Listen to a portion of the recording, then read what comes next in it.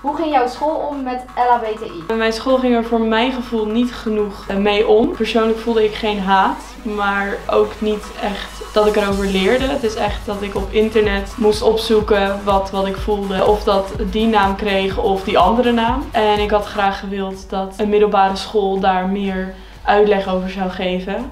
Ik had niet echt het idee dat er vanuit het bestuur van de school iets gebeurde aan informatie over LHBTI en dergelijke. Wel waren er sommige docenten die soms tijd eh, besteden aan wat LHBTI is en hoe je ermee om zou kunnen gaan, maar meer eigenlijk niet.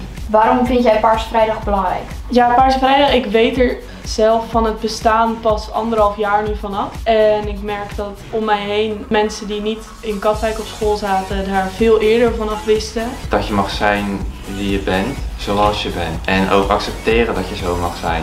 Paarse Vrijdag is voor mij uh, steun, denk ik. En dan bedoel ik meer in dat ik me ingesteund voelen vooral natuurlijk een, dag is ook non-LHBTI mensen zeg maar, hun steun uitspreken voor de gemeenschap. dat, dat is wel een fijn gevoel om dat te zien. Dat je er voor iemand bent, dat je uh, iemand steunt, dat je echt een hele community steunt. Dat je zoveel mensen kan steunen met alleen maar een paar shirt dragen, bij wijze van. Ik vind dat wel echt, ik vind dat heel mooi dat zoiets gedaan kan worden.